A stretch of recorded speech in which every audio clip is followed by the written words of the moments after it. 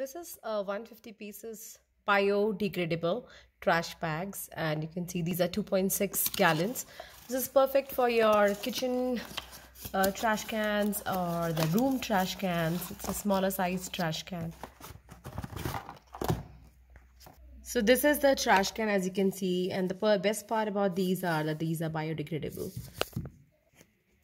And you can see that I have I'm using it in my trash can and these are great. These are perfect